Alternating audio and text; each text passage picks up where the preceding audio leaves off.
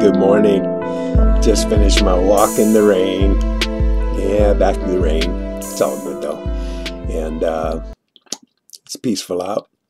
And it the power is out. Now we have power. Um, I don't know why, uh, but I did this three and a half mile walk. Um, I call it my walk around the block. And uh, about half of it is uphill, and about a quarter of it's downhill, and the rest of it's flat. Anyway, it kind of goes through the three intersections of our town, which have no lights. We don't have a light in our town. Um, and all the power's out. You know, all the stores, every everything, uh, it's all out. So I can record all this because um, I can, but um, I can't upload it until we have power. So that's the way that goes. Anyway, while I was out walking this morning, you know, I've been thinking, uh, you know, yesterday I had an interesting opportunity, and um, I was riding uh, the bus up to uh, our little town Belfair where I go walking in the tide flats in the afternoon in the sunshine.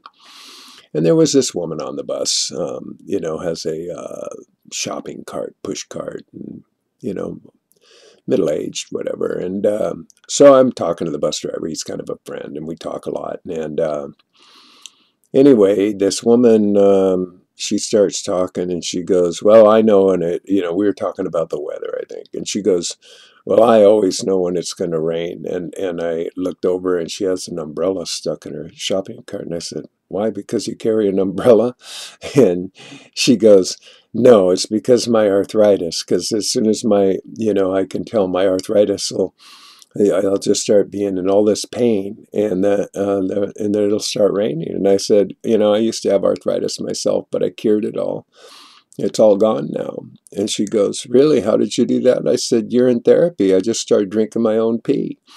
And she just turned to disgust and and like you know tried to just cut it all off and whatnot. And I said, hey, listen, I'm just telling you what I experienced. It's the truth, you know. And you know, you don't want to hear it. I don't, you know, I don't care. And so, and then she starts to go on and tell me, you know, starts telling about how all these healthy choices she makes, you know, that, uh, you know, she's no, no longer eats this or that. And she looks for natural and organic and gluten free. And, you know, she goes down this whole laundry list of things that she's doing. And, and so then I just said, uh, but you're still in pain. Uh, is that right? She goes, yeah. I said, huh. Funny how that works. So, all of a sudden, she shifted, and we started having a little bit more of an open dialogue.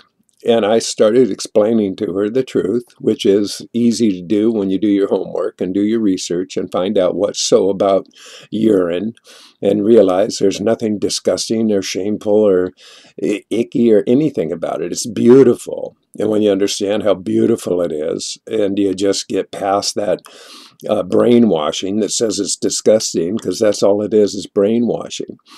And uh, you'll be free. You'll be so free when you drink your pee. It's amazing. You'll be free of pain. You'll be free of uh, doubts. You'll be free of all sorts of things. It just shifts the paradigm. It changes everything.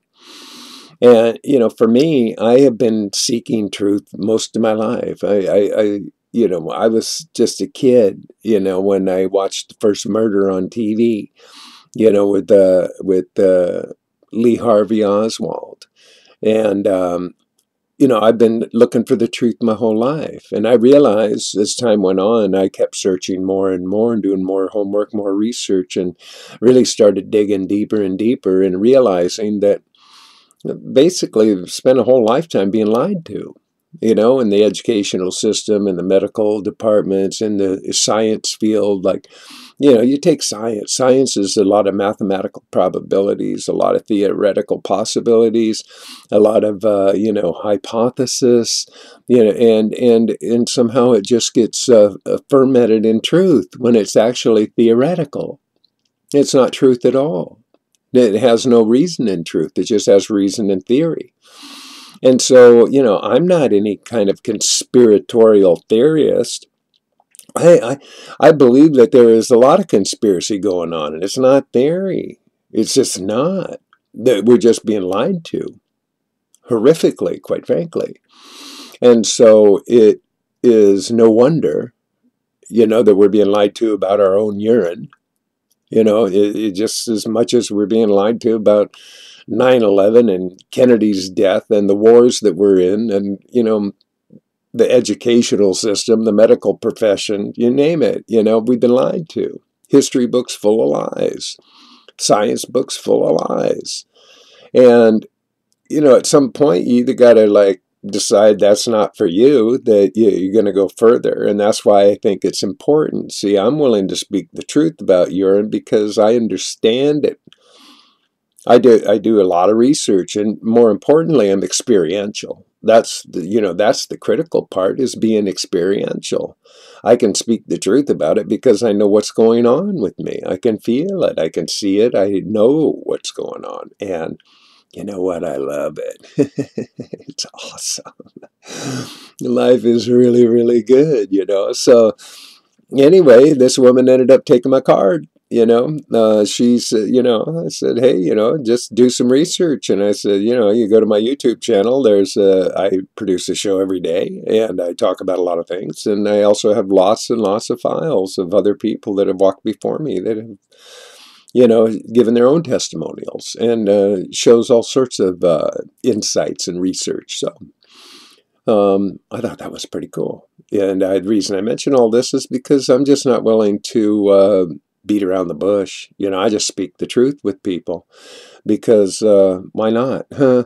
You know, what what have I got to lose? You know, what they're, they're not going to think I'm cool or, they, and I won't get to sit at the cool table you know, or what? You know, what what's the deal? You know, I, I just live in my truth. And um, so I uh, ran in, I went and uh, said hi to another friend of mine who runs, a, he's a manager of a store and he's been going through some things. And I went in to check on him and stuff. And he says yesterday, he, he tells me, I'm doing a lot better today. Yesterday, man, I was just like miserable with my allergies and, you know, da da da da da. And so I, I made like kind of an indicator of like pissing into a shooter glass and taking a shot. I said, dude, give it a whirl, it'll clear it up in no time, you know? And he looks at me and I said, you know, I don't know what part you're missing here, dude. People look at me like I'm crazy because I drink pee, and I look at people like they're crazy because they don't. So, just is what it is, you know, and I don't care. It's up to you, you know. You want to go ahead and, uh, you know, your story is your misery. Hey, you know, a lot of people like that. You know, so it gives them substance. It, it validates them. You know, so they're going to make sure they're always miserable and in pain and, and complaining because otherwise they'll have no existence. Nobody will understand, you know, how fucked up their lives are and why they're such a mess.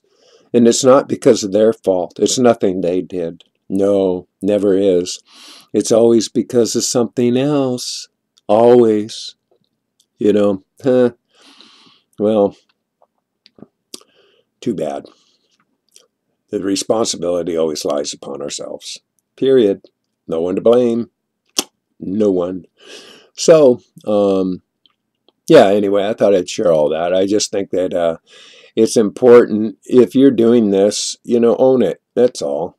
You know, there's no sense being in the closet about it and acting like there's something disgusting or shameful about it. You know, that it's like until you step out through that door, you'll never be free.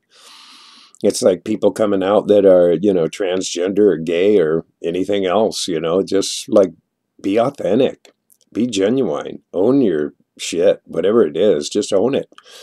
And um, you'll feel better.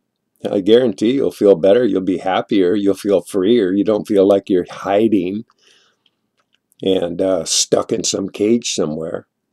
And uh, we're the only ones that can lock ourselves up and be the jailer. And we have the key to set ourselves free. And urine is just one way to do it. I think it's the best way, personally. But, you know, it's an option. So, um, that's what I want to say about that. And um, I got another poem for you today. And this one is, um, this one's entitled, I Hold a Vision. So, um, I hold a vision, a dream, if you will. I've held it a long time and it lives with me still. Its foundation is patience, a virtue well earned. No shortage of repeats of lessons I've learned. Perseverance. Just hold on to your dreams. Don't let the world unravel your seams. Just keep perspective, your point of view, perspective on anything that affects you. How do you see yourself? How could you be? Does your heart have a song that yearns to be free? What will it take to unlock the door to experience joy and becoming much more? And there it is. So hopefully uh, we'll get some power here soon. Um, so that we, well, we have power, I mean, but the rest of town, because uh, we're not getting any internet. We're not getting anything until the power goes back on. So anyway, I'll do all the uploading when that happens. And uh, in the meantime, I hope you all have a beautiful, wonderful, marvelous day. And uh, I'm sending you good vibes love and peace be with you. And boom, ah, you just been.